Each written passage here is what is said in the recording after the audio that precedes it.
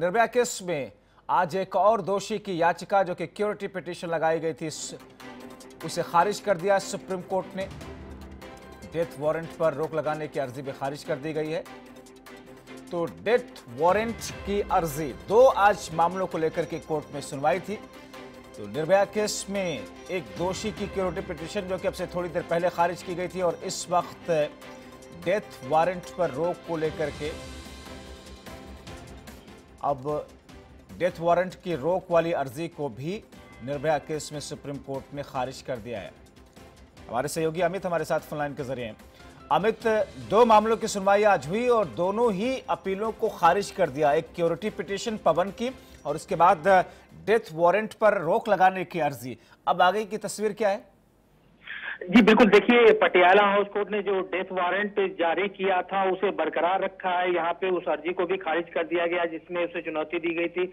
अभी भी पवन के पास दया याचिका का विकल्प है और हमारे सूत्र बता रहे हैं कि आज शाम तक ही पवन की दया याचिका जो है वो डाल दी जाएगी, क्योंकि कल पटियाला हाउस कोर्ट ने जिस तरह डेथ वारंट जारी किया, कल सुबह छह बजे फांसी होनी है तो ऐसे में वकील कोई रिस्क नहीं लेना चाहेंगे और आज ही दया याचिका सबमिट होगी, जिसका एक ऑप्शन होगा कि अभी दया याचिका पेंडिंग है, जिस वजह से फांसी नहीं हो सकती। क्योंकि ये भी एक प्रारूप है फांसी रोकने का और जो हाई कोर्ट ने डिसीज़न दिया था कि किसी भी केस के अगर चार आरोपी हैं तो चारों को एक साथ सजा होगी। तो इस बात को लेकर सुप्रीम कोर्ट में द्वारा दिल्ली पुलिस द्वारा चुनौती दी गई थी। वो भी याचिका तो पेंडिंग है। तो क्या माना जाए कि कम से कम अभी चौदह दिनों तक फांसी होना मुश्किल है क्योंकि दया याचिका खारिज होने के बाद भी चौदह दिनों का वक्त मिलता है? जी, बिल्कुल, देखिए, अब यही बड़ी बात है कि कल भी जो तीसरा, तीसरी बार death warrant Patiala house court ने जारी किया था, वो उस समय भी फांसी होनी मुश्किल है और फिर से पटियाला हाउस कोर्ट को हो सकता है कि नया डेथ वारंट जारी करना पड़े। लेकिन इस बीच जो पवन के पास ऑप्शन है, अगर उस ऑप्शन का आज ही प्रयोग हो जाता है तो उस पर भी बहुत जल्द से जल्द डिसीज़न आ जाएगा। अगर वो अगर दया याचिका पवन की तरफ़ से आज नहीं डाली जाती है तो फिर मामले की एक बार और लटकाने की प्रक्रिया जो है आगे सामने देखने में आ सकती है। जी। बहुत शुक्रिया अमित इन तमाम जानकारी के लिए। तो पटियाला हाउस कोर्ट ने आज दरअसल उस याचिका को खारिज कर दिया, जिसमें डेथ वारंट को लेकर के उस पर स्टे करने के लिए, रोक लगाने के लिए दोषियों की तरफ़ से लगाई गई थी। और दूसरी एक याचिका जो कि आज सुप्रीम कोर्ट ने खारिज की है, पवन का, पवन की क्योरिटी पिटीशन थी। उस क्योरिटी पिटिशन को खारिज कर दिया। हालाँकि क्योरिटी पिटीशन खारिज होने के बाद में अभी भी मर्सी पटिशन उसके पास में बच रहा है। और मर्सी पटिशन खारिज होने के बाद में किसी भी दोषी को फांसी के सजा पाए शख्स को चौदह दिनों की मोहलत मिलती है। हमारे साथ अश्वनी दुबे, सुप्रीम कोर्ट के अधिवक्ता फुलाइन के ज़रिए जुड़ रहे हैं। इनकी रबड़ी बाकी थी। और फाइनली ये तीसरा डेट वारंट जारी हुआ पंद्रह दिन का इनके पास टाइम था लेकिन अलग अलग चुपचाप बैठे रहे। एक दिन पहले वो भी जिसका डालना था उसको नहीं डाले इन्होंने पूरा समय खराब किया है कोर्ट को गुमराह किया है सिस्टम को गुमराह किया है। और आज इनकी अपील खारिज हो गई है। और कल उनको फांसी वकालतनामा भी नहीं जमा किया था उन्होंने। हाँ सबसे अहम बात जो कानून का रखवाला है वही अनलीगल काम करे कोर्ट हालतनामा कोर्ट में जमा नहीं किया। तो कहीं ना कहीं ये कोर्ट को गुमराह करें सिस्टम को ही गुमराह किया। आज इनकी अपील खारिज हो गई है कल मुजरिमों को फांसी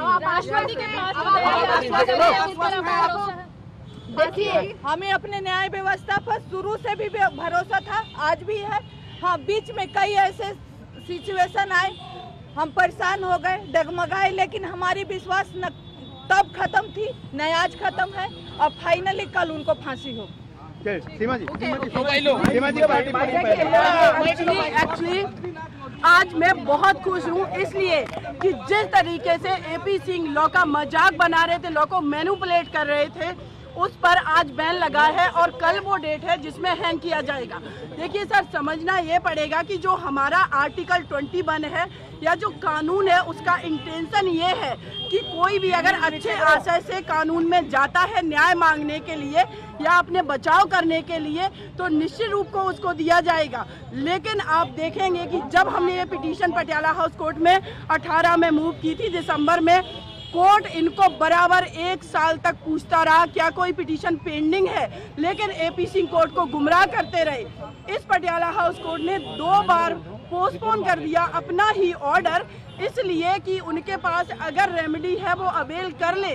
लेकिन जब ये ऑर्डर 17 फरवरी को माननीय पटियाला हाउस कोर्ट ने किया, उसमें उन्होंने एक बात को क्लियर मेंशन कर दिया था कि अब अगर ये किसी भी रेमेडी का क्लेम करते हैं तो ये समझा जाएगा कि ये डिले टैक्टिक यूज़ कर रहे हैं, क्योंकि जो दिल्ली हाई कोर्ट ने ऑर्डर किया था, जिसमें इनको सात दिन का समय दिया गया था, वो टाइम लैप्स कर चुका था।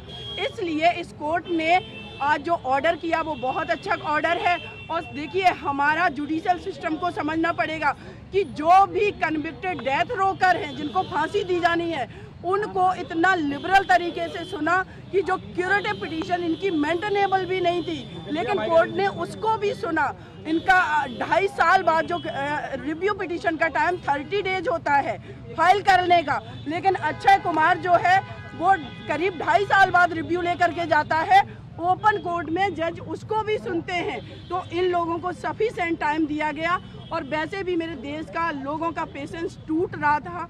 क्या हमारा सिस्टम इतना मजबूर हो गया था? ये लोगों में मैसेज आ रहा। लेकिन आज इस कोर्ट के ऑर्डर का मैं स्वागत करती हूँ कि लॉ के मैनुपुलेशन को रोका गया।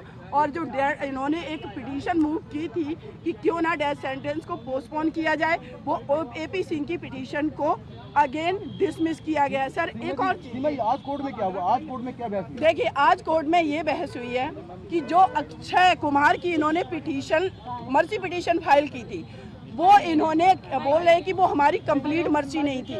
जबकि तिहाड़ जेल प्रशासन ने सारे डॉक्यूमेंट प्रेसिडेंट ऑफ़ इंडिया को भेजे थे और वो सारे डॉक्यूमेंट देख करके प्रेसिडेंट ऑफ़ इंडिया ने मर्सी रिजेक्ट की। अच्छा, तो इनका वो ग्राउंड डिसमिस हो गया। आपको अभी और अपडेट करना चाहेंगे कि जो इन्होंने एप्लीकेशन लगाई है कि पवन की दया याचिका इन्होंने लगाई है उस अर्जी पर अब दो बजे दोबारा पटियाला हाउस कोर्ट सुनवाई करने जा रहा है। देखिए अगर इन्होंने पवन की जो दया याचिका फ़ाइल की है वो एक दो इनको जब पटियाला हाउस कोर्ट ने सुबह सुनवाई की, तब तक इनकी कोई पिटीशन कहीं पेंडिंग नहीं थी।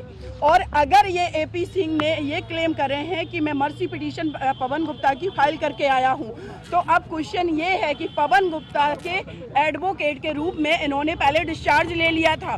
तो अब ये कब एडवोकेट बन गए? आज भी कोर्ट ने कोर्ट में इन्होंने जो वकालतनामा फ़ाइल किया वो फोर्ज वकालतनामा था, पहले वाला, जबकि फ्रेश वकालतनामा चाहिए था। तो इस हिसाब से मुझे लग रहा कि जैसे ये लॉ का मैनुपुलेशन कर रहे थे मैम अब तो इन पे, अब इनको पनिश भी करना चाहिए, क्योंकि अगर इस तरीके से आप डिलेट एक्ट यूज़ करेंगे और फेक डॉक्यूमेंट प्रोवाइड करवाएँगे कोर्ट को तो ये तो पनिशेबल ऑफेंस है। तो निश्चित रूप से मैं उम्मीद करती हूँ कि अगर दो बजे भी कोर्ट सुनेगा तो कोई इनको रिलीफ नहीं मिलेगा।